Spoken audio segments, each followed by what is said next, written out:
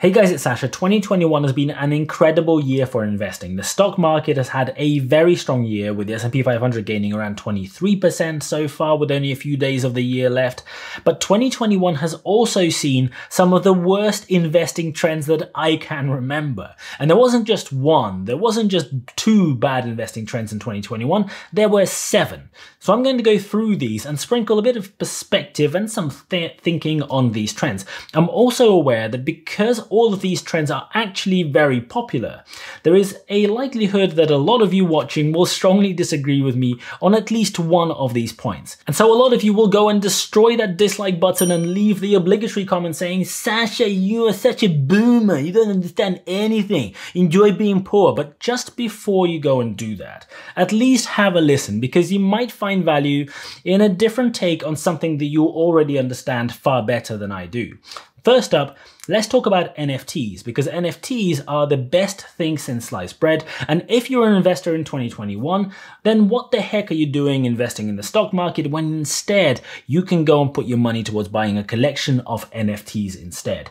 NFTs in 2021 are some of the best examples of how people take a technology that has some really interesting and groundbreaking potential applications and instead spend a whole year using that technology to scam each other and steal each other's money. Everyone is at it. There is a new collection of pointless JPEGs popping up every second, and every celebrity out there is collecting free money from their gullible followers by selling them these non-fungible tokens. Just in case you're not entirely familiar, when you buy an NFT, you buy the ownership of an entry in a public ledger.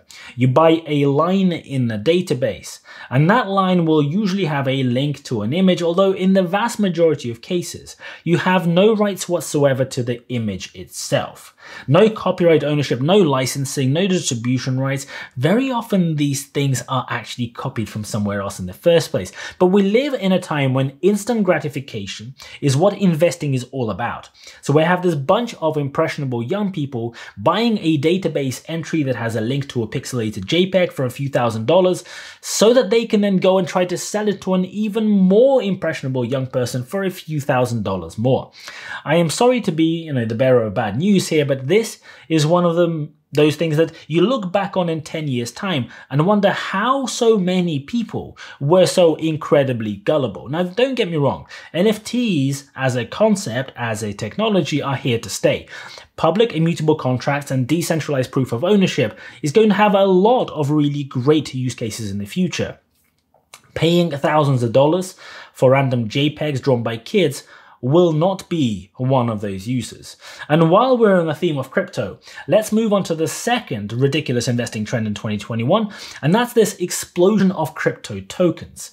A lot about this side of the crypto sphere shares similarities with NFTs. They even live on the same smart chains. But crypto tokens are an even more dumb version because people think that they are buying an actual asset that shares some kind of similarity with currency that has value when they invest in the latest, you know, dog turd token. Crypto tokens are now being sold to you by virtually any celebrity out there in exchange for being paid by the creators of these tokens. It's all over YouTube, all over social media, it's just everywhere. It is on the London tube, it is on buses in Los Angeles. And the price of these is driven by a massive load of hype to try and promote the token as fast as possible to drive the price up. Then the creators of this thing and some people who were in the know early will usually go and own the lion's share of the original tokens that they will then slowly sell over time or maybe sometimes relatively quickly. And in particularly obscene cases, they will steal the liquidity pool as well, which not only gets them even more money than selling tokens at a premium, but also means that nobody else who owns tokens after they've got rid of the liquidity pool can actually sell their worthless tokens. I find it incredibly ironic that there are a bunch of kids out there, including grown up kids that actually look like real adults, it seems, who praise this situation. Any criticism of the fact that 99% of all crypto tokens out there serve absolutely no purpose, provide absolutely zero value of any kind, and are just basically glorified scams is immediately dismissed as FUD by people who have invested and are therefore, you know, in a position where they're going to lose a whole lot of money. When you point out the obvious irony that the decentralized finance space, DeFi, is full of tokens that are not decentralized in any way. In fact, they are considerably more centralized than the thing that they're trying to replace because, you know, the entire code and ultimate control of pretty much every wallet is controlled by a small group of people who are accountable to nobody and can do whatever it is they wish. When you point this out, you tend to hear crickets. I know this is a painful thing to hear if you are investing in Floki Inu because some schmuck on YouTube told you that it is going to the moon and will definitely 10x in the next few months. But here's hoping that people will eventually learn their lesson, sometimes maybe the hard way, rather than doubling down after losing money on one crypto token scam by going in on the next one to make the money back. Now let's move on to the latest trend in this list and that is this obsession with the metaverse. It seems that everyone is convinced that the metaverse is the next big thing, because there's always the next big thing that we all need to go and invest in. And we're largely going to lead our lives as a result in this new virtual reality. We're going to buy things with NFTs, we're going to own things, make virtual friends, sit there all day in this virtual reality wearing a virtual reality headset. One big company after another is saying they are going all in with this metaverse concept, but let me explain to you how absurd some of this thinking is. The metaverse is not something new. We've had a whole host of implementations of very similar things over many years. We've already had Second Life for almost two decades, and there are millions of people who will spend years of their lives living in World of Warcraft. Escaping in the real world is something that is very common and quite natural to human nature. You know, to make up a pretend alternate reality is fun in games, literally, but is this the future of how we will lead our actual lives? Pretending to be a completely different person or character living in a made up world with made up friends? Or is the metaverse just going to create a digital replica, a replacement of actual reality? A digital world where you can buy your own house that you already own in real life again, and maybe do the exact same activities that you can do in real life, but in a really rubbish and extremely limited way. Is that what is going to be? The current state of technology is such that there is zero chance of different games and different tech environments being cross compatible. So, this notion of everything just swimmingly working together, you being able to just carry over characters, objects, characteristics between different apps, games, and environments is simply not feasible. And there is something really important. People are social creatures. People are naturally designed biologically to interact, including physically. The reason a normal computer screen is such a great way of portraying information and as a medium of engagement, you know, including screens on your phones, is that you can look away for any period of time for a second to look at somebody that else that you're talking to while you're watching or while you're reading to look outside for a second you know at things like clouds and sky and trees you know acknowledge real life and the basic truth is that while I am sure there are going to be a whole lot of use cases, lots of fun involved, there's going to be great games, I fundamentally disagree with the notion that there are foundational social benefits that will make the metaverse some kind of the default way, or at least an extremely popular way of engaging, interacting with regular information and other people. Next on my list of really bad investing trends in 2021 is one that will unfortunately continue right through 2022, probably, and that is this unchecked inflation. For the first time in modern history, politicians and central bankers have decided that the basic economic tenets, basic principles of finance can be completely ignored because now they know better.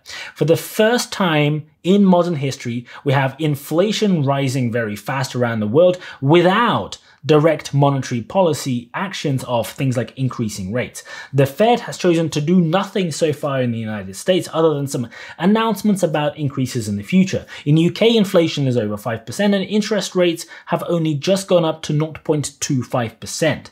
And in Turkey, President Erdogan has announced that low interest rates are the way to combat inflation.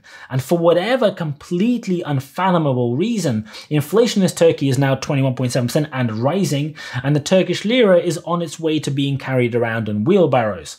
I am presuming that at some point next year, the people in charge around the world will change their approach because the current approach of doing nothing and burying your head in the sand is clearly, for a strange reason, not working. Who could have possibly thought?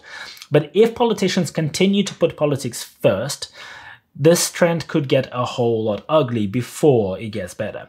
Next up on my list is this new trend of investing on leverage.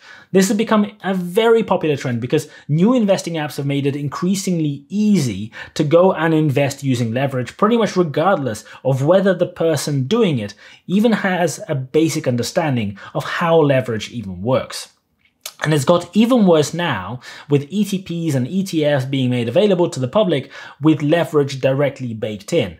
You can now go and invest in individual stocks with leverage through one of these instruments, even if you don't have access to actual leverage through your investing platform. And the problem is that most people don't really understand leverage basics, let alone some of the more intricate long-term impacts. For example, let's say you want to go and invest in the stock market and you decide that seeing as stocks just go up over time, you might as well go and invest with two eh, times leverage. So whatever the stock market does, your returns are going to be amplified by a factor of two, right? So if the stock market goes up by 10%, you're going to be up 20%. Great. There's higher fees as well with these kind of things, but they aren't the main issue. So let me give you an example. Let's say you're going to invest $100 into the stock market, and then the next day it loses 10% in value because of a correction. Your leveraged portfolio has just lost 20%, and you now have 80% of the original index value. Let's say that the stock market then goes and makes up the whole loss the very next day because there's a bounce back. So to go up from 90% up to 100%, you need an 11.1% recurring increase. So your leverage account gives you double that daily increase and you're laughing all the way to the bank. So 80% plus 22.2% gives you 97.8%. So the stock market has net not moved at all, but you are 2.2% down because you're smart and you are using leverage. Even if the market goes up over the year, if the stock market has higher volatility, including big drops, leverage can reduce your annual return rather than amplify it. You know, things like inflation and interest rates cause the stock market to yo-yo up and down by a few percent a day. So if that happens, you can lose a heck of a lot of money. And that's before remembering what happens to a leveraged investment if the market actually crashes, or at least the stock that you're invested in crashes. A 2 to 1 leveraged investment goes to zero if the market loses 50%. If the market then recovers, your leverage position is still zero because you've already lost everything. If you're playing a 3 to 1 leverage position, which are currently very popular, the stock only has to lose a third of its value before you've lost all of your money. Tesla, one of the 10 biggest companies in the world, has just lost 30% in the last few weeks. So I hope that people think a little harder when they play with leverage. And next up on my list is a trend that has exploded in 2021, and this is the game of the short squeeze. This whole saga really hit the mainstream at the end of January when Wall Street Bets began playing an aggressive game of squeezing hedge funds on stocks like GameStop and AMC. And everyone got very excited. GameStop went up from $18 to $350 in just a few days. And AMC shares exploded from $9 to $60 in June as well. But like with leverage, the unfortunate situation is that the vast majority of people playing the game don't really understand the rules of the game that they are playing. And the game is somewhat one-sided as well because the hedge funds you're playing against know all of the cards that you have while you only have a few relatively poor hints as to what it is that they have in their hand. And the mechanics of how short positions can ramp up and how they can become relatively large proportions of the total float in volume and then ramp back down are a whole lot more complicated than the somewhat simplistic explanations I often see people present. And yeah, a small number of the people who started these short squeezes off have done very well on the back of them. But the vast majority of those joining the good fight against the evil Wall Street suits have lost a massive load of money since the start of these things. And without getting too deep into it, I personally do not like playing games where I do not know all of the rules because some of them are hidden from me and where my opponent has an inherent biased advantage. The biggest problem here for me is that people put their money in thinking that they are playing a sophisticated investing game against the big boys, but in reality, most people are actually just gambling with their money, hoping to get rich quick. And the next big trend in 2021 has been the growing number of investors putting money into black boxes with next to no understanding of what it is that they're investing in. We have this culture of people posting long lists of their favorite ticker symbols on Twitter or whatever, and sometimes people will go and invest without even knowing what the company name is, let alone anything about them. This level of analysis and due diligence being done at the moment by too many investors seems to be at an all-time low. People are investing money in biotech with a very limited understanding of the risks involved or what would actually push the share price up or down down for that company. We have company valuations exploding after they literally make stuff up. We have an ongoing fraud court case uh, against Theranos, which wasn't a public company, but still managed to collect quite a lot of investor money nonetheless. And then we have Nikola, whose valuation exploded to $27 billion after they published a video of a truck rolling down a hill after that truck literally got pushed down that hill because they didn't actually have a truck that could even drive itself. People will go and put money into a company with absolutely no research, no qualitative analysis, no valuation model, no nothing. And companies are seeing this and it's no surprise that we're getting more and more companies going public. Many companies going public much earlier than they did before because you don't need data for people to go and invest money into you. You don't need numbers to collect dumb investor money. I hope hope that some of these trends from 2021 will go uh, will go and disappear in 2022. But I have a feeling that many of these are unfortunately only going to get worse. If you agree or disagree with these, please leave a comment below and make sure you smash that like button for the YouTube algorithm. Thank you so much for watching. I really, really appreciate it. And as always, I'll see you guys later.